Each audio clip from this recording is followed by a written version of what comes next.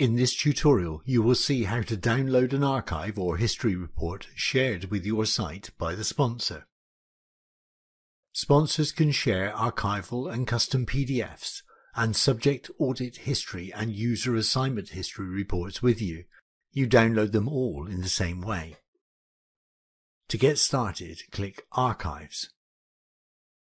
If you are assigned to multiple sites, select a site. Find the request you want to download.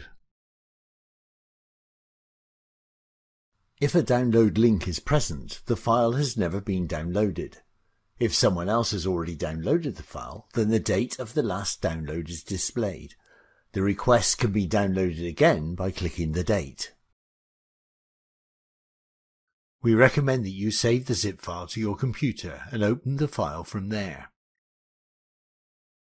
If a confirm link appears after you have downloaded the archival report, you must verify the content of the output and confirm that you have accepted it.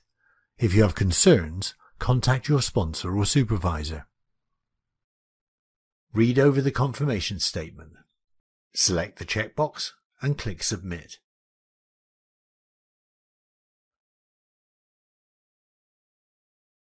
To view the history of a request, select the box next to the request. The history appears at the bottom of the page and shows the date and time when the archive finished processing, was downloaded and was confirmed, as well as the person that performed each operation.